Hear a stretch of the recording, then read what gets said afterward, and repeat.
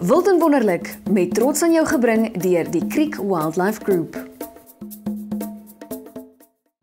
Dis weer Woensdag en tyd vir Wilton Wonderlik. Ons kuier hierdie week by die Creek Wildlife Group Auction en ons kyk vir 'n laaste maal na die April uitgawe voordat die Mei Wiltonjag die rakke tref.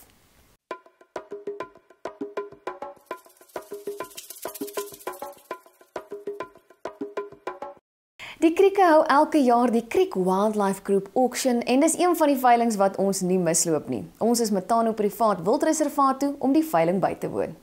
Die Creek Wildlife Group is bekend daarvoor om een van die geselligste voorveiling funksies te hou. Met die mooiste sonsondergang as agtergrond, het gaste by die kameeldoringbome op Motano Privaat Wildreservaat bymekaar gekom. Die grendelwyne was daar vir almal om te proe terwyl die aand se kos op die kolle gebraai is. Ja Creek het die gaste en gasverkopers van die Creek Wildlife Groep veiling hartlik verwelkom waarna almal lekker saam gekuier het.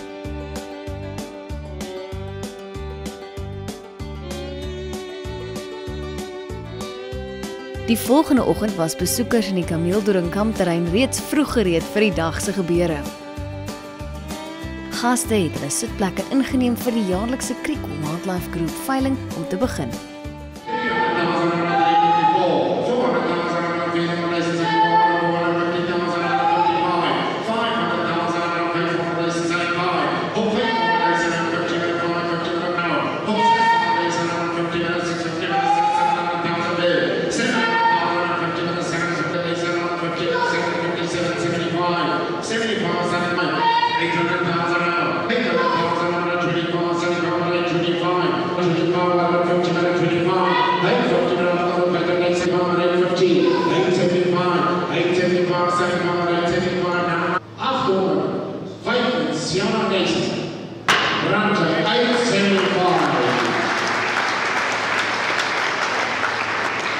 Yes, ons is weer eens met 'n topveiling. Hier het die diere het baie goed gedoen. Die roun het geloop. Die rooibokpryse was ongelooflik hoog. Die mooi springbokke het goed verkoop. Waterbok het ons weer eens verbaas. Die bulle het goed verkoop. Ehm die koeie het die goedkoopste waterbok dink was R12000 vir koeie. Die bulle het tot 30 35000 rand gegaan. Ehm um, die was uh die die, die goedkoopste roun was 30000. Hulle het hulle het ge-average die 80 90000 rond. Ehm Ruger het vir oor die 700 000 verkoop. Uh, Rihanna het vir 275 000 verkoop.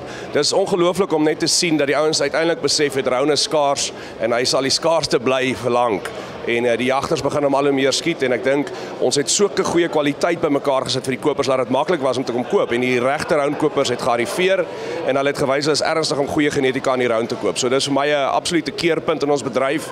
Dis vir my ongelooflik om hierdie stabiliteit te sien. Um, ons het regtig alles probeer om om om, nog steeds hierdie veiling op 'n op 'n hoë vlak te reël uh om die gasverkopers in te bring en om die kopers in te bring en ek wil dankie sê aan almal se ondersteuning um, die topdiere wat die gasverkopers gebring het. Ek dink hulle het ook besef as jy wil premie op jou prys op jou bok, moet jy jou beste aanbied. En uh ek die kopers kon kom rondloop hier en gaan kyk in die troppe en hulle kon regtig sien dat ons regtig ons beste diere gaan uithaal het. So dit het betaal. So die die is gesond uh vir die topdiere, vir die topmark. Die kommersiële diere is definitief in in kurwe, maar ons laat ons moet daai eind eindverbruiker ontwikkel, ons moet daai eindmark ontwikkel groter as wat dit is. Ons moet ons Suid-Afrikaners geleentheid gee om weer hierdie diere te skiet en te beheer om die getalle af te kry en dan gaan ons weer 'n blomfase beleef. Ehm maar soos ons almal weet, topdiere verkoop en uh, die kommersiële mark op die oomblik is so bietjie gevloed. Ons was baie verras vandag met die pryse wat Buster Gemsbokke behaal het op die kriekveiling. Ehm um, daar was kopers van oral oor die land en ek dink hulle het gekom omdat daar regtig spesiale kwaliteit diere aangebied was. So hulle moes kom na hierdie veiling toe as hulle ehm um, besonderse Buster Gemsbokke wou bekom. Ehm um, ons het sê as gasverkopers dankie vir die kriekfamilie wat hierdie veiling nou al bou oor 'n hele paar jaar en ontsettende moeite doen met bemarking en seker maak hulle doen hulle beste um, om die kopers hier te kry. En dit is regtig 'n wonderlike platform vir ons as gasverkopers en ons het vandag die pryse gekry wat die diere gewys het die mark is bereid om vir hulle te betaal en ons is verskriklik tevrede daarmee. En ons wil net weer baie dankie sê vir die al die kopers, al die gasverkopers en spesiaal vir die Kriek familie. Ehm um, die hele ding is eintlik baie onregverdig want my pa het 26 jaar gebou in ons stoet. En toe 5 jaar terug kom ek en Greg in en ons is 'n bietjie minder skaam as my pa. So ons is bereid om na funksies toe te gaan, mense te ontmoet en ehm um, dit het gelei daartoe dat ons genomineer word tot uh teeler van die jaar en ons het toe die die breeder van die jaar, die teeler van die jaar toekenning gekry van WRSA vir 2018 en dit gee ongelooflike goeie blootstelling in die sin dat mense wat nooit geweet het jy bestaan nie, al boer jy al 31 jaar met pastogeensbokke en swartpense en buffels, nou ewe skielik hoor van jou en dalk twee keer kyk as hulle lees dat Greg en Andri Gerrit van Dreyer van Sal Game 'n paar Rhine en Sable op die Creek veiling sit. Uh, ons het 'n regtig uitsonderlike pastogeensbok bil op hierdie veiling aangebied vandag en um, ek dink mense het kennis geneem van hom en Bulle soos hy doen iets vir die Bastergensbok bedryf en vir al die teelers. Ehm um, want ewe skielik is Bastergensbokke op die kaart. Dit was die duurste bok vandag verkoop op die veiling. Ehm um, ons is baie baie dankbaar daarvoor. En ek dink soos jy sê, Bastergensbokke se dag het gekom en ons is hier en ons is baie bly daaroor.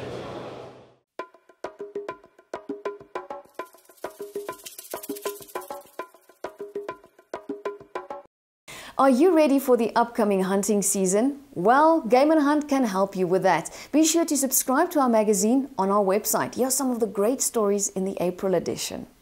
Our April edition is our big game hunting issue. Stefan Fischer, our hunting editor, tells readers about one of the biggest adrenaline rushes he had ever experienced when hunting a black bear in North America.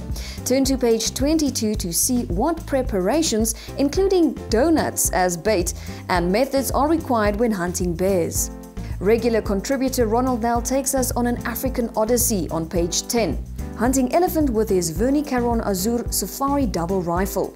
Basa reports on the AGM and dangerous game shoot on page 54.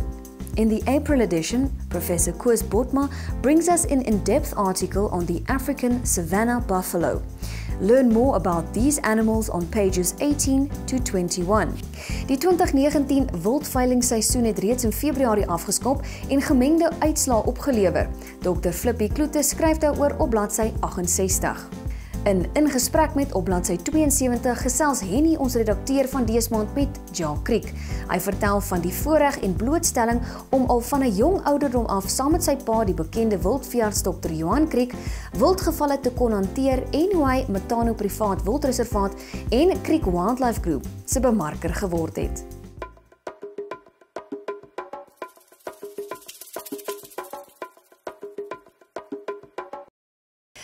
Dagboek bydraend. Hier is 'n paar opkomende geleenthede in die wild en jagbedryf. From the 16th to the 20th of April, Wildswinkel is hosting the Tswalu Kalahari timed auction on the Wildswinkel application. Safari Outdoor hou al jagfees van 20 tot 30 April. Kry gerus jou Safari Outdoor bylaagboekie by die nuutste wild en jag tydskrif om al hul winskoopies te sien. En dan op die 25ste Mei sien ons uit na Bona Bona Game Breeders se derde platinum veiling wat by die Bona Bona Wildkompleks gehou sal word. That's it for this week's Wilton Wonderlik. Be sure to follow us on Facebook, Instagram and YouTube for the latest news in the game and hunting industry. Till next week, goodbye. Wilton Wonderlik met trots aan jou gebring deur die Creek Wildlife Group.